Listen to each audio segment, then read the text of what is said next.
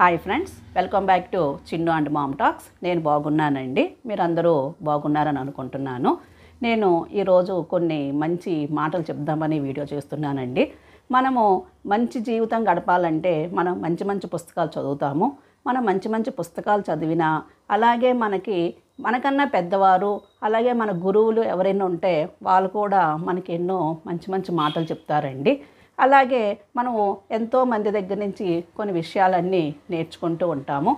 ఇవన్నీ ఎందుకు నేర్చుకుంటున్నామంటే మన గురువుగారు మనకి ఏమైనా విషయం చెప్పినా మన స్నేహితులు మనకి ఏమైనా మంచి మంచి మాటలు చెప్పినా లేదా మంచి పుస్తకాలు చదివి మనం ఏదైనా విజ్ఞానం నేర్చుకున్నా వాటన్నింటి అల్టిమేట్ గోల్ ఒక్కటేనండి.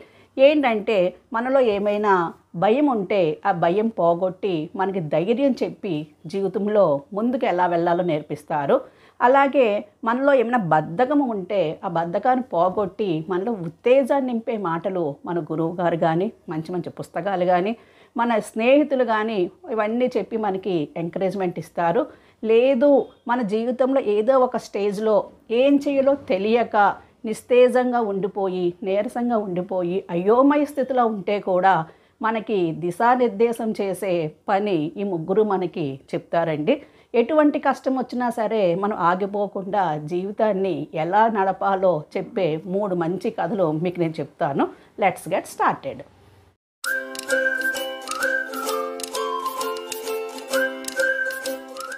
ఇప్పుడు నేను మొదటిగా చెప్తానండి. జీవితంలో ఎటువంటి కష్టం వచ్చినా ఎలా ఎదుర్కోవాలో చెప్పే కదా ఒక ఊర్లో ఒక అమ్మాయి ఉందంటండి.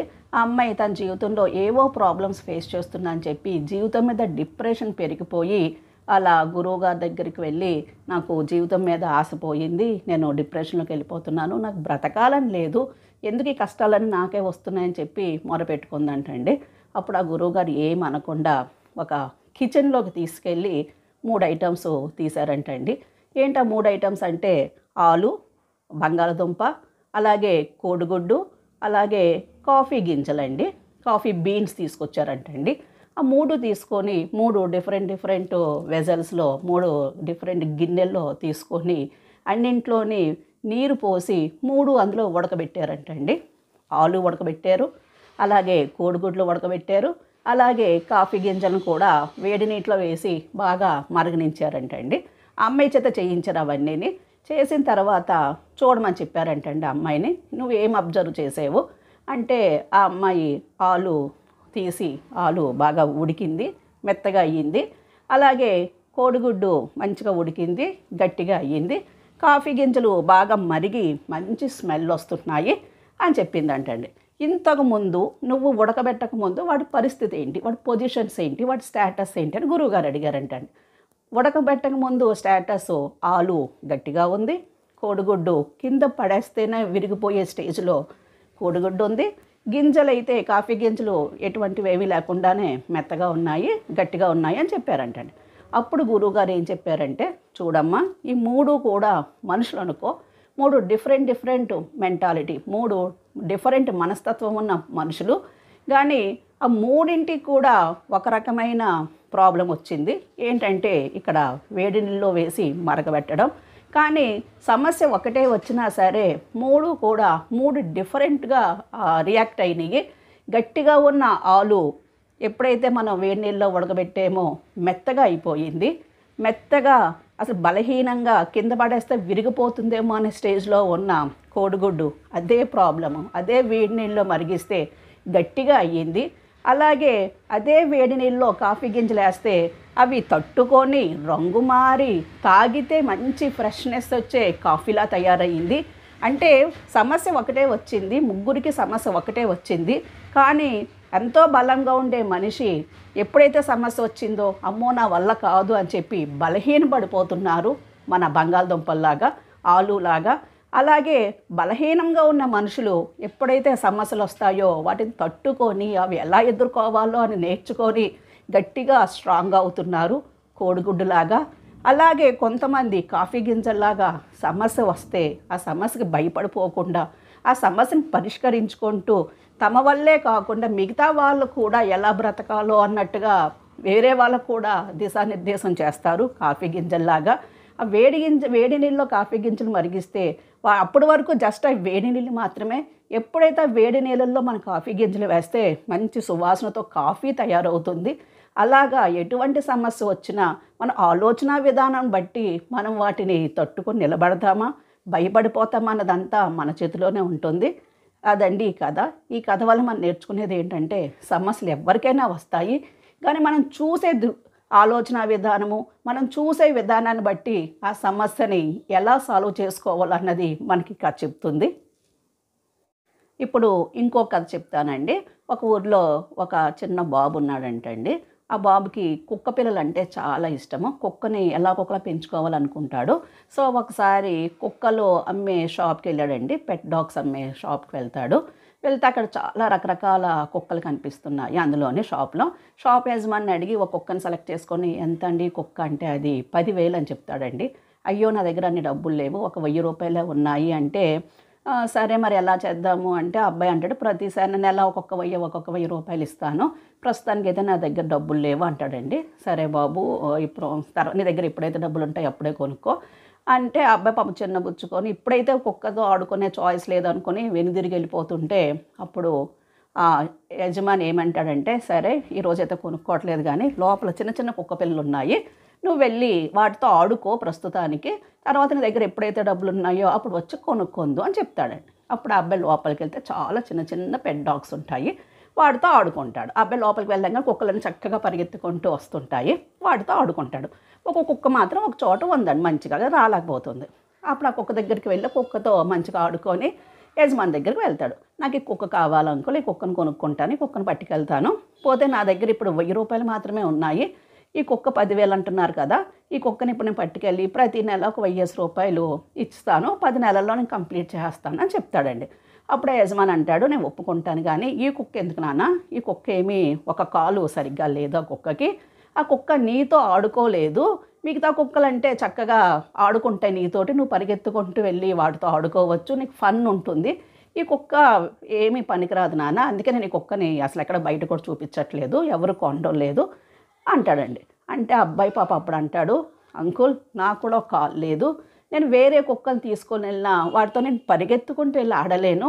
ఈ కుక్క అయితే ఇది నాకులాగే ఉంది. ఇది పరిగెత్తలేదు నేను పరిగెత్తలేను. ఇద్దరం ఒక చోట ఆడుకుంటాము. నాకు ఈ కుక్కే కావాలని చెప్పి ఆ వెయ్యి రూపాయలు ఇచ్చి కుక్కని తీసుకెళ్ళిపోతాడండి. ఇక్కడతో ఈ కథ ఎండ్ అయిపోయిందండి. కానీ దీన్ని బట్టి మనం ఏం చేస్తున్నామంటే ఒక నీతి ఉందండి ఇందులోనే. ఆ కుక్క ఆ యజమానికి ఆ కుక్క వాల్యూ లేనట్టు అనిపించి దాన్ని పక్కన పడేసాడు. కానీ ఆ అబ్బాయికి తన జీవితంలో ఏదైతే కోల్పోయాడో అదే ఇంకొకరి దగ్గర వెతికాడు కాబట్టి ఆ కుక్క ఎంతో వాల్యూ ఉన్నట్టు అనిపించింది. దీన్ని బట్టి మనకి మనల్ని ఎవరైనా విలువ కట్టాలంటే మన వాల్యూ నువ్వు మన నీకు విలువ లేదు నువ్వు ఎందుకు పనికిరావని ఎవరైనా అన్నారు అంటే మనం బాధపడక్కర్లేదు. ఎందుకంటే మన గురించి వాళ్ళకి తెలియదు. ఎవరైతే ఆ పర్టికులర్ థింగ్ మీద ఎవరికైతే ఇంపార్టెన్స్ తెలుస్తుందో విలువ తెలుస్తుందో వాళ్ళే దాన్ని విలువ కట్టగలుగుతారు. అలాగే ఒక మనిషికి విలువ కట్టాలంటే మంచి హృదయం కూడా ఉండాలి. మంచి హృదయంతో సమస్యను సాల్వ్ చేసేవాళ్ళు జీవితంలో ఎప్పుడు కూడా పైకొస్తారు. అందుకే మనకి ఎప్పుడు విలువ లేదని మన జీవితంలో పైకి రామని మనం ఎప్పుడు అనుకోవద్దండి. మనల్ని విలువ కట్టే వాళ్ళు ఉండాలి అనుకుంటే ఆ ఎదురు వ్యక్తి కూడా దాని వాల్యూ తెలిసిన వాళ్ళే మన మనల్ని విలువ కట్టగలుగుతారు. ఇది రెండో స్టోరీ అండి. ఇప్పుడు మూడో కథ చెప్తానండి. ఒక ఊర్లో ఒక గురువు గారు ఒక స్వామి ఉన్నారంటండి. రోజు ఆ ఊర్లో ఉన్న మనుషులందరూ ఆ గురువుగారి దగ్గరకు వచ్చి తమ కష్టాలు తమ బాధలు గురువుగారికి చెప్పి వాటికి పరిష్కార మార్గం గురువుగారిని అడుగుతూ ఉంటారు. గురువుగారు తనకు తోచిన పరిష్కారము ప్రజలకి చెప్తే వాళ్ళు అవి స్వీకరించి వెళ్ళిపోతుంటారు. ఇలాగ ప్రతిరోజు గడుస్తుంది. అప్పుడు గురువుగారు అనుకున్నారంటే అండి ఎందుకు ప్రజలు చెప్పిన సమస్యే చెప్తున్నారు? నేను ఆల్రెడీ వీటికి పరిష్కారం చెప్పాను కదా. అయినా సరే అదే సమస్యతో ఎన్నిసార్లు వస్తున్నారు అనుకొని ఒకసారి ఊర్లో ఉన్న జనాలందరినీ పిలిచి ఒక మీటింగ్ పెట్టారంట అండి. మనుషులు పిలిచారు అందరూ వచ్చారు. గురువుగారు వాళ్ళతో మాట్లాడుతూ ఒక జోక్ చెప్పారంట అండి. అందరూ పగలబడి నవ్వారు జోక్ బాగుందని. సెకండ్ టైం మళ్ళీ గురువుగారు అదే జోక్ చెప్పేటప్పటికి సగం మంది నవ్వారంటండి సగం మంది నవ్వలేదు. ఎందుకంటే ఆల్రెడీ ఆ జోక్ గురించి తెలుసు కాబట్టి ఫస్ట్ టైం అంటే నవ్వు వస్తుంది సెకండ్ టైం అంటే నవ్వు రాదు కాబట్టి సగం మంది నవ్వలేదు. గురువుగారు మళ్ళీ థర్డ్ టైం కూడా మళ్ళీ అదే జోక్ చెప్పేటప్పటికి ఈసారి ఎవరూ నవ్వలేదంటండి. ఇంక నవ్వలేదు. ఫోర్త్ టైం మళ్ళీ గురువుగారు చెప్పేటప్పటికి అందులో ఒక ఆయన లేచి గురువుగారు ఎన్నిసార్లు చెప్తారు ఈ జోకు ఫస్ట్ టైం అయితే బాగుంది ఎన్నిసార్లు నవ్వమంటారు? నవ్వు రావట్లేదు అన్నాడంటాను అప్పుడు గురువుగారు అన్నారంట ఒక జోక్ నేను నాలుగు సార్లు చెప్తేనే మీరు నవ్వలేకపోయారు. మరి మీరెందుకమ్మా అన్ని సమస్యలు ఒకే సమస్యని ప్రతిసారి ప్రతిసారి నా దగ్గర తీసుకొస్తున్నారు?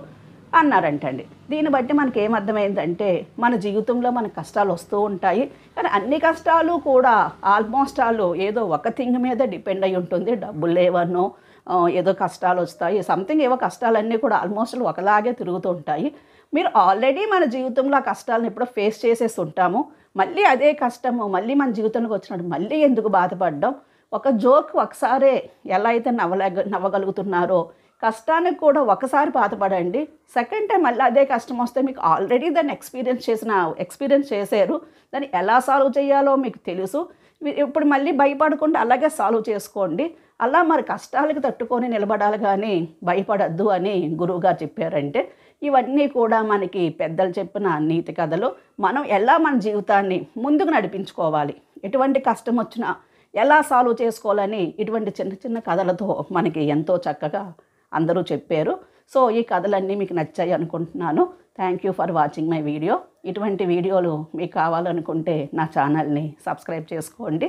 మీరు సబ్స్క్రైబ్ చేసుకొని కింద ఉన్న బెల్ ఐకాన్ని ప్రెస్ చేస్తే ఎప్పుడైతే నేను వీడియో పెడతానో మీకు ఇమ్మీడియట్గా నోటిఫికేషన్స్ వస్తాయి. Thank you.